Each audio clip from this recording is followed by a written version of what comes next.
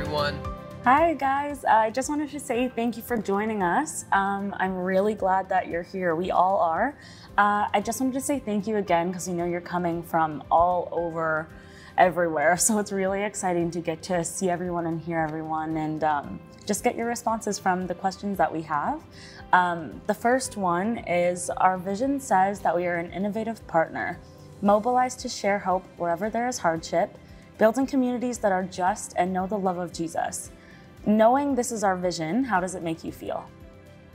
I think this is so exciting. When I read it, I'm like, whoa, um, it, it invited me actually to go and do something about it. We're creative thinkers.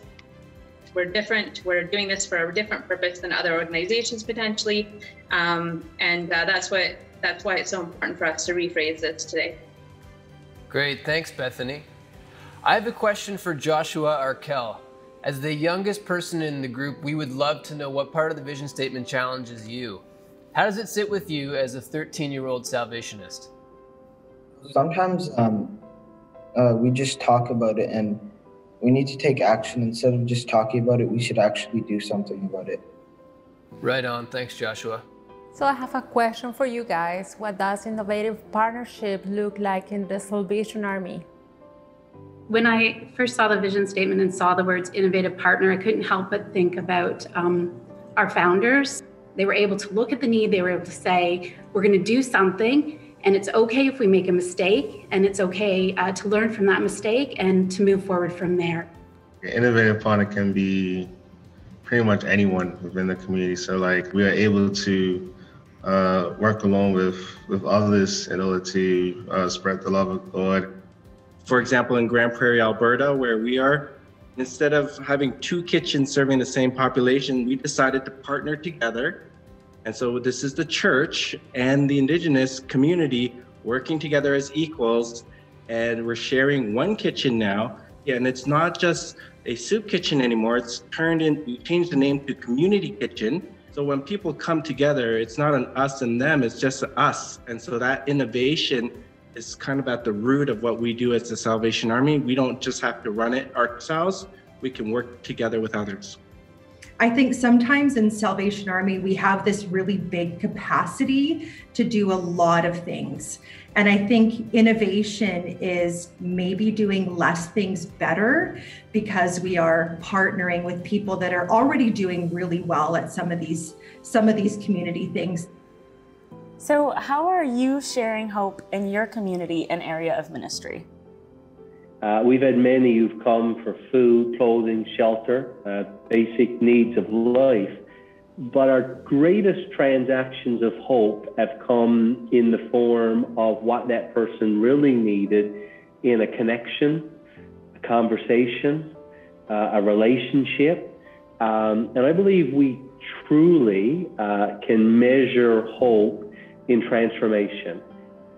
Our aim was to believe, believe in our people and believe in our staff, encourage their level of work so that they are so empowered that whenever they meet the individuals of the community who are in need, they're given the best possible service. I think hope is not just in the physical of giving something. I think it is in being someone, meaning it's a part of who we are. Hope has been a really uh, a big thing in my first year as an officer, and I'll never forget doing the first couple intakes of the residents who would be moving in and showing them to their room. And one of our residents just stopped and everyone else was so excited to see, you know, their dresser, their bed, that sort of thing. And this one gentleman just stood and stared at the door. And we said, Are you okay? What's going on? And he said, This is the first time in 15 years I've had my own bedroom door. like this is hope. You could see it in his body language, in his eyes, in his demeanor, and who he was able to flourish and become because of a door that I take for granted every single day. That's awesome. Wow. I actually have another question for you guys, really quick. Um, what I love about the Army is that we share hope in hard places. We really go there. So I'm wondering where those places of hardship are that you see hope in action. Uh, we have that ability to share hope into situations that maybe are a little bit more um, hidden um, from the from the eye. Um, it isn't necessarily about telling about Christ, but we're showing Christ through our hands and our feet and what we do. Thank you, Mark. And something I'd like to ask um, Bethany, would love to hear from you on this. What do you think it means to build communities that are just? What would that require from us as the Salvation Army? The word that comes to mind for me is dignity. It isn't about equality, um, everything being equal. Um, but uh, the reality is, if we don't offer dignity and allow people to do things for themselves, we're not going to have a just community. I think a true community that is just means that there's equitable opportunities for people. I think a just community means that we need to empower people with knowledge. And when we can empower people to know what is available to them, I think that's when a community becomes just. It, it, it calls us to go out into the community, to, to seek needs in the community to see where the need is and, and to ensure that everybody has the same kind of opportunities. I have another question. Our mission statement probably declares that we exist to share the love of Jesus. And our vision statement ends with communities that know the love of Jesus. What does it mean for you personally to know the love of Jesus? To know the love of Jesus is something that changes who I am. Uh, it sinks down through my heart and out my feet and changes everything that I do. That's knowing the love of Jesus. Personally, I have experienced who Jesus Christ is in my life because I too lived on the streets. I too was a sinner in need of salvation, and God took a hold of this life and turned it around. I went from punk to pastor, and now I'm sharing that love to others who are struggling. And I hope that they too will know Jesus as well. Powerful question. Uh, knowing the love of Jesus uh, to me is knowing compassion and love, uh, and all of it is uh, unconditional.